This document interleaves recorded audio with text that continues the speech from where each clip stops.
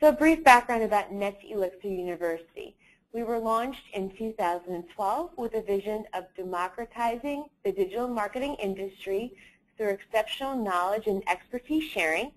And our goal is to share best practices in retail and digital marketing with 10,000 businesses worldwide by 2015. We invite you to join our LinkedIn group, NetElixir University.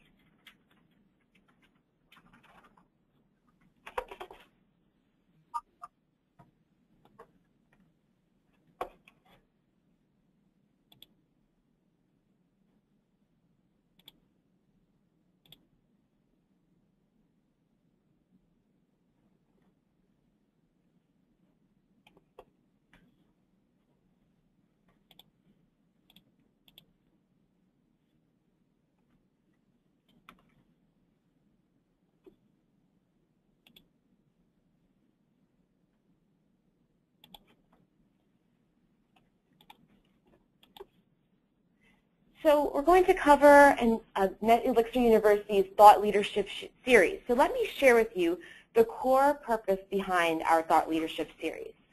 Our vision is to aspire and to create a knowledge-sharing platform where proven ideas from uh, digital marketing thought leaders can influence businesses around the globe. So basically, we reached out to industry leaders and invited them to share their practical knowledge and advice with NetElixir University members and summarize their advice in 30 words so we can capture the essence of their advice. We work with them and their teams to create blog posts, which we'll actually be publishing over the next couple of weeks.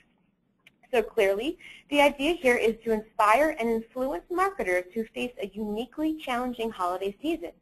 I now invite Keith Levitt, our Senior Client Relationship Manager, to share the advice of these thought leaders with you. Over to you, Keith. Thanks, Marin. The first piece of advice that we want to share is from Ajit. He runs Lenovo.com. Lenovo, as we know, as we all know, is the world's largest PC company.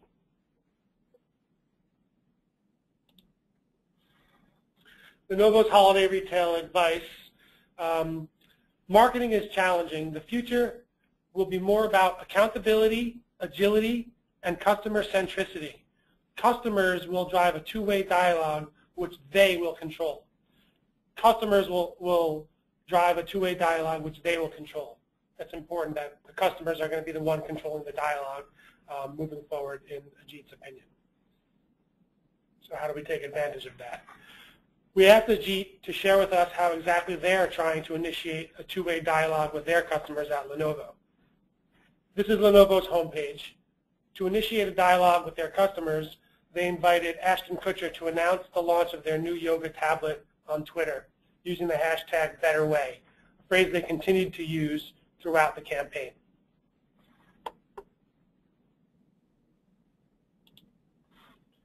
Just to give you an example, this is how Ashton Kutcher started tweeting, by always using hashtag BetterWay and at Lenovo.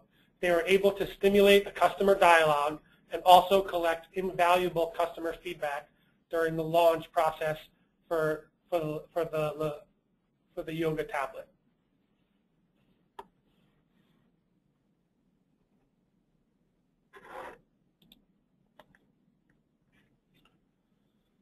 Our second thought leader is Mac Harmon, CEO of Balsam Brands, one of the six fastest growing e-commerce companies in the U.S. They sell Christmas trees online.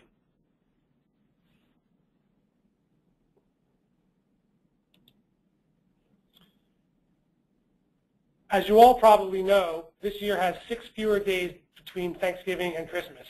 Mac's advice is plan for the implications in advance and track sales growth versus an appropriate base year, not last year.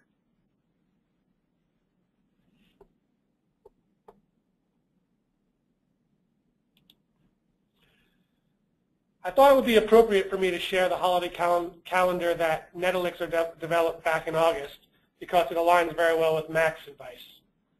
Uh, in this calendar, we tried to identify the top competitive days where we think the cost per clicks will increase the most to help retailers prepare for what we believe will be an exceptionally intense holiday season. So as you can see, the, um, the days marked in red, we expect to see a 50% increase in cost per click. Uh, the days marked in orange, we expect a 30% increase in cost per click. And the days marked in yellow, we expect to see a 25% increase in cost per click. If you notice uh, December 16th and 17th, uh, the Monday, the last Monday before Christmas, that's a typically high, high uh, traffic day.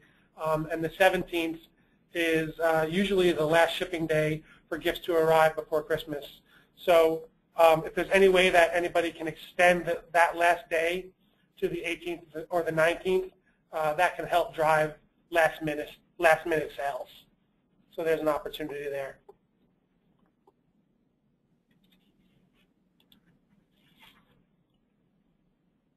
Our next thought leader in the series is Rick Amer, who's the Chief Operating Officer at That Pet Place.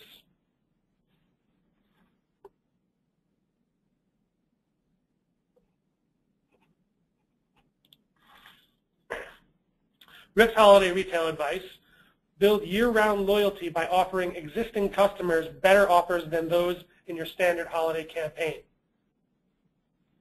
Support the effort with targeted marketing that tells them that they're special.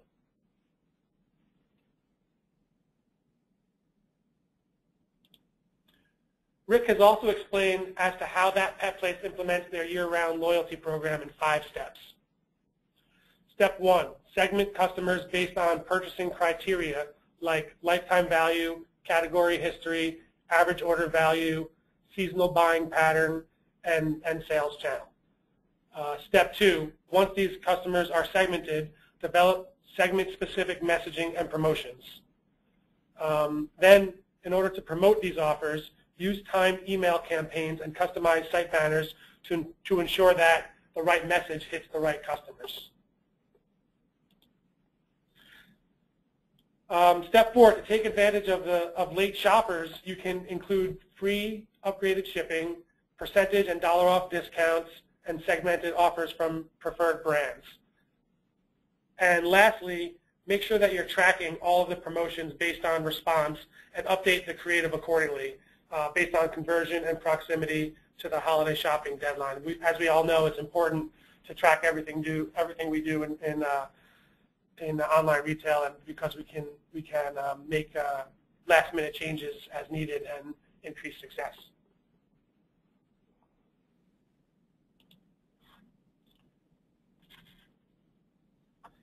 And finally, we have Brett Goffin, head of retail at Google.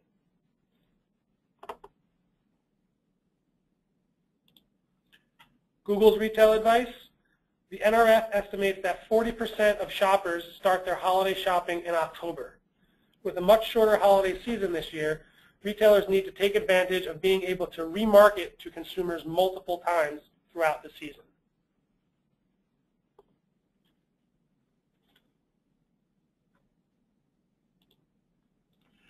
Per Google's data, last year's longer season allowed consumers to make purchases later in the calendar, but this year, since it's a super, since it's a, a super short holiday season, the number of opportunities to market to, cons to consumers has to be carefully planned. We know that this year, since it's later, um, there's going to be more a longer time um, from November to Thanksgiving for us to uh, start the remarketing messaging um, early. So during the, the peak season, um, Black Friday and Cyber Monday, they'll hopefully have seen our message once, and we can hit them with the right message um, when it matters most.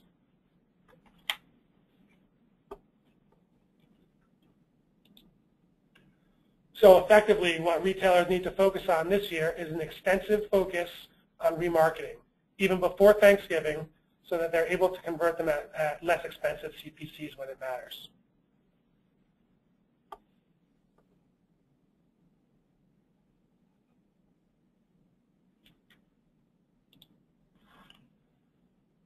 So the key takeaways, Ajit's advice is to creatively engage customers.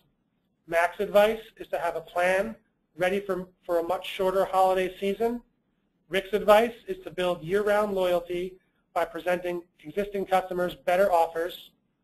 And Brett's advice is to maximize multiple customer touchpoints by applying remarketing practices.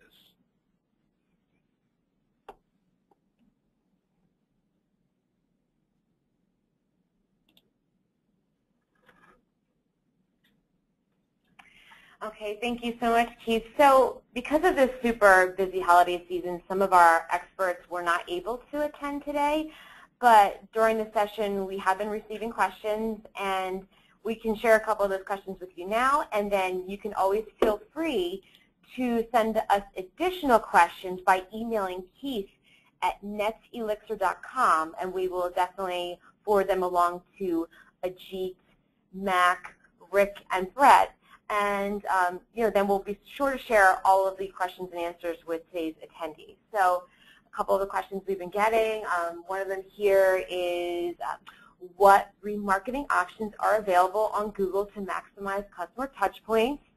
And just to give you an example, another one is how does that pet place segment customers?